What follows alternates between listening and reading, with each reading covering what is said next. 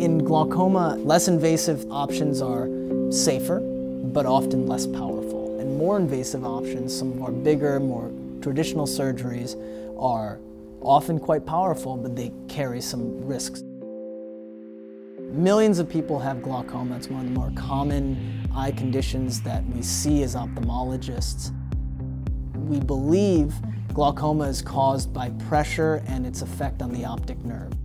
MIGS or minimally invasive glaucoma surgery allows us to achieve pressure reduction without as much risk as traditional glaucoma surgeries.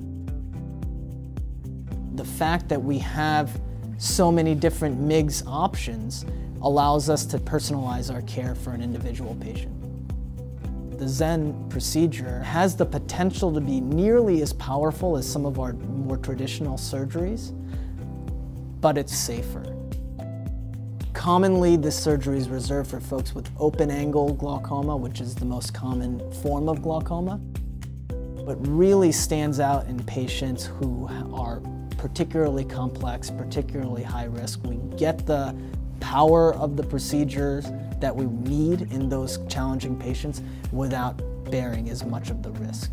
It kind of marries some of the traditional glaucoma surgical strategies with fewer incisions, less time in the operating room, and faster recovery, which really ultimately come down to improving their quality of life.